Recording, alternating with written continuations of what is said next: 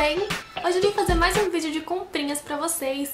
Dessa vez são algumas comprinhas que eu fiz no AliExpress. E chegou pra mim faz umas duas semanas, acho que faz mais ou menos isso. E eu postei no Instagram e foi pra fanpage do blog, daí todo mundo queria saber quem era o vendedor, quanto tinha custado, queria o link de tudo. Então achei melhor fazer o vídeo pra mostrar mais detalhes pra vocês. E também no post eu já deixo o link separadinho de cada produto e do vendedor também. Bom, eu fiz essas comprinhas com um cupom que eu ganhei do AliExpress. Era um cupom de então, 50 dólares. Um cupom pra poder comprar essas coisas. E eu vou mostrar cada uma delas pra vocês. Eu vou começar com, com as coisas de beleza, que é o que tem menos. Uh, eu comprei uma caixinha dessa aqui, que vem 10 pares de cílios postiços. Ó, eu já usei um par. E assim, deixa eu mostrar pra vocês. Eles são... Deixa eu tirar aqui pra vocês verem. Eles são dão um efeito bem natural, porém eu usei e sinceramente eu não gostei, porque eu achei muito, muito, muito, é, não falso a, a impressão do, dos cílios assim no olho, mas eu achei horrível esse negócio aqui, a base onde coloca cola pra, pra poder grudar aqui na pálpebra, eu achei horrível, Olha, parece que a, a, a, cola não gruda direito, não sei. Não sei se o problema sou eu também, se é meu olho. Porque o meu olho, ele lacrimeja muito. Então... Ai, não sei. Não rolou esses cílios, mas dá pra quebrar um galho, assim, pra tirar foto. Alguma coisa assim do gênero, sabe? Mas se for, assim, pra sair, pra usar ele, assim, eu já não vou usar mesmo. Pra mim, não, não rolou. Mas é muito baratinho esse kitzinho aqui, deixa eu ver. Custou 2 dólares. Mas tem esse porém aí. Eu não sei, eu sei que tem outras caixinhas dessas com outros modelos de cílios, porém eu não sei dizer pra vocês se todos são é, desse mesmo jeito, com a mesma... Essa base ela é bem durinha, parece que a cola não, não gruda direito. E enfim, não sei se eu que dei azar, mas pra mim não, não rolou muito não, só vai ficar pra eu tirar foto mesmo de maquiagem. Outra coisa que eu tenho pra mostrar pra vocês, de beleza, é um kit de pincéis, é, inspirado naqueles da Sigma, sabe? Só que ele vem escrito MAC. Só que, gente, obviamente não é da MAC, porque a MAC nem tem um kit de pincéis assim, mas quem se importa, né? Então, é, os pincéis vêm assim, ó. Eu nem usei ainda, eu nem tive tempo de lavar. E eles vêm assim. Depois você pode dividir e usar como porta-pincéis isso aqui. Todos vêm dentro do plastiquinho, tá vendo? Eu vou tirar pra mostrar um a um pra vocês. Vem um, dois, três, quatro, cinco, seis, 7, 8, 9, 10, tem 11 pincéis, não, 12 pincéis. E eu vou começar mostrando pra vocês o de pó. Ele vem também com essa proteçãozinha aqui de plástico, que é bem legal pra manter as cerdas no formato certo. Então esse é o de pó. Eu sinceramente acho comparado com os outros pincéis de pó que eu tenho. Eu acho ele um pincel pequeno pra ser de pó. Talvez dá até pra Mas usar como um pincel assim de pó, eu acho ele meio pequeno. Mas as saídas são bem fofinhas. Daí tem um pincel de Duo Fiber. Ai, pera, coloquei errado isso aqui. Não tá certo. Tem esse pincel aqui de Dual Fiber. Comparado com outro Dual Fiber que eu tenho, ele também é um pouco menor. Mas... Deve ser bom pra aplicar blush líquido. E é bem fofinho também, viu? Ó. bem macio. Outro de pele é o de blush. Eu adoro esses pincéis de blush que são chanfradinhos. E eu sinceramente não gosto de pincel de blush muito grande, então eu gostei do tamanho desse pincel. É bom também pra fazer contorno. E ele é bem macio também, ó. Gostei bastante. E... Ah, tem um outro de pele também. Esse aqui é o de base, ó. Também vem com a proteção. E ele não é... Esse aqui uh, também é um duro. pouquinho menor do que os outros pincéis de base que eu tenho. Mas eu acho que deve ser bom assim, ó, pra assentar o corretivo. Vamos para os pincéis de olhos. Tem um tradicional de aplicar sombra. Bem fofinho. Tem um, um chanfradinho que também é bem fofinho. Dá pra esfumar a sombra com esse também. Ah, esqueci de mostrar, ó. Todos eles no cabinho, não sei se vai dar pra vocês verem. Mas todos eles no cabinho assim, vem escrito MAC também e a numeração. Não sei se a numeração original corresponde realmente aos pincéis da MAC. Enfim. Tem esse outro pincelzinho aqui, bem pequeno de detalhes. É ótimo para iluminar o cantinho interno. Tem outro pincel pequeno. Esse aqui é bom para fazer delineado. É bem fininho. Tem um pincel aqui que eu não tenho nenhum igual a esse. Que é esse aqui, ó. Ele é retinho aqui em cima. E eu não tinha nenhum pincel igual a esse. Acho que deve ser ótimo para aplicar a sombra aqui embaixo. E para esfumar o delineado aqui também. Tem um pincel menor chanfradinho. Fininho também. Não é tão fino quanto alguns outros que eu tenho. É, eu não acho que ele é legal pra fazer delineado, mas é legal pra corrigir a sobrancelha, enfim. E tem o pincel de esfumar. Adoro pincel de esfumar, gente. Que é esse daqui, branquinho, redondinho, ó. Ele não é grande demais, então cabe certinho no côncavo.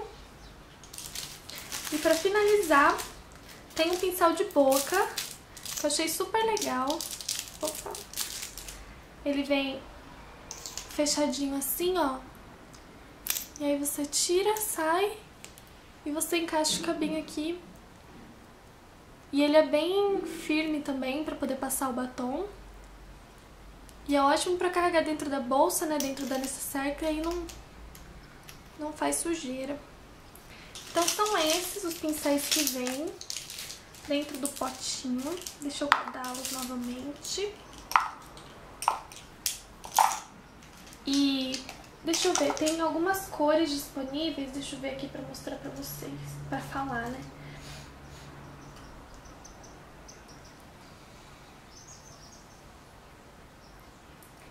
Uh, esse kit ele custa 13 dólares e 27 cents. E tem roxo, rosa, meio coral assim, e esse azulzinho aqui. Então eu escolhi o azul, porque eu adoro esse tomzinho de azul, acho fofo. E eu adorei, ele é super bonitinho assim, bem acabado. Claro, né, gente, não dá pra ficar esperando milagres de um pincel vindo da China, mas Pra mim tá ótimo. Então, coloquei do lado errado. Então aí você coloca aqui no potinho e só fechar. E ele vem com as travinhas aqui do lado, ó. E é ótimo isso aqui pra você carregar em viagens. E de beleza, acabou. Foram essas duas coisinhas. Uh, eu comprei uma bolsa também. Eu já tinha visto essa bolsa há um tempo e eu já tinha achado ela maravilhosa. E eu aproveitei que tinha nesse vendedor, porque eu fiz essa, essa compra que eu fiz, eu comprei tudo com o mesmo vendedor, né? E eu aproveitei que esse vendedor tinha e eu comprei essa bolsa aqui. É, ela tem a alça grande, assim. Também vem uma alça menor, mas eu gosto justamente de usar assim na lateral. E ela é uma bolsa assim com estilo meio vintage. Ela é marrom. E ela abre assim, ó, muito linda. Minhas coisas estão todas aqui dentro, não reparem. E tem um zíper aqui. E desse lado aqui tem uns, uns bolsinhos pra guardar chave, essas coisas. E eu achei ela linda. Tô usando com tudo. Nossa, é, ela combina com tudo, é maravilhosa. Então essa foi a minha compra de bolsa. Adorei. Ai, deixa eu ver quanto custa pra falar pra vocês. Ela custou R$13,45. Então, né, imagina se uma bolsa dessa aqui no Brasil ia custar, vamos lá, dizer 30 reais. Não ia, né?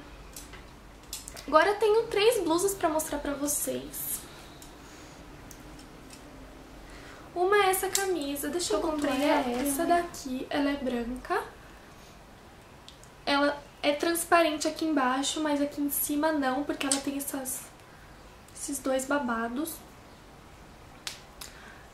Ó, ela tem um, um detalhezinho aqui no ombro, todos os botões são douradinhos.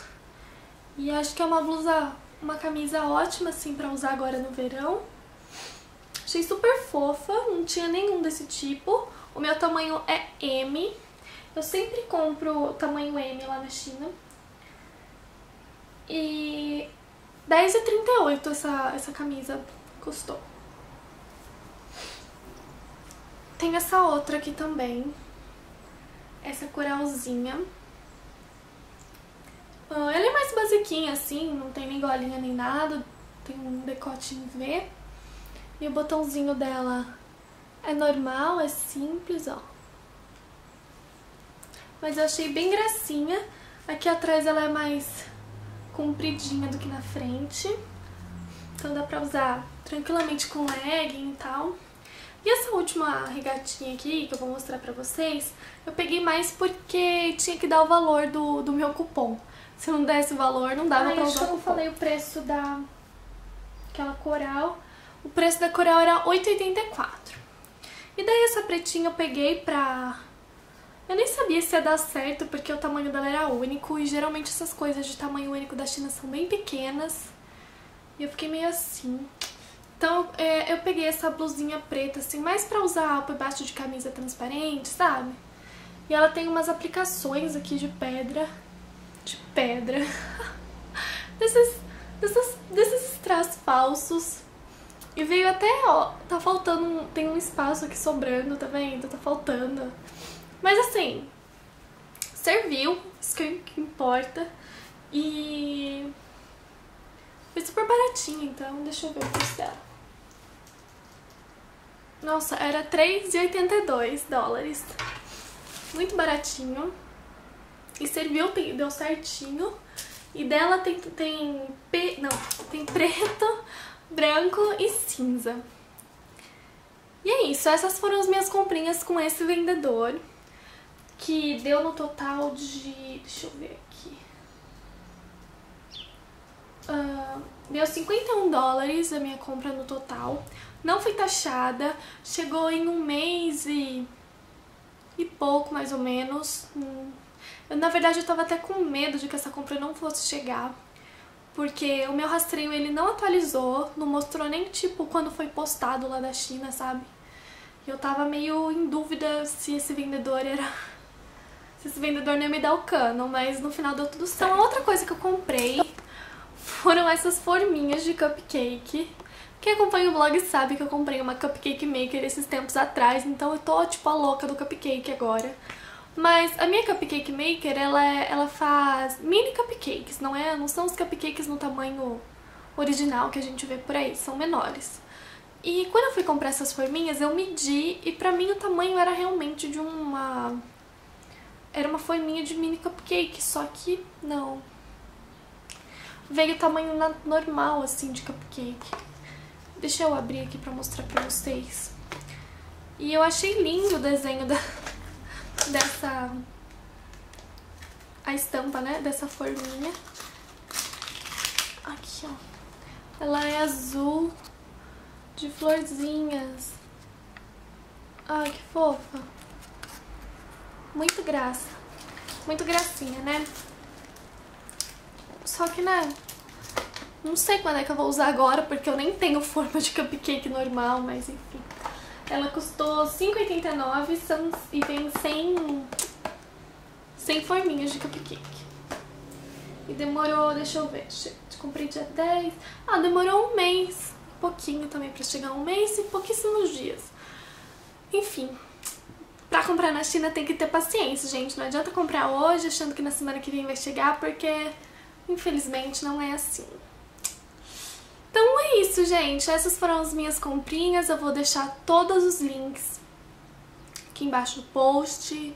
Se você estiver vendo pelo YouTube, entra no blog pra ver o post que vai estar tá tudo lá explicadinho, tá bom? Então é isso. Um beijão pra vocês e até mais.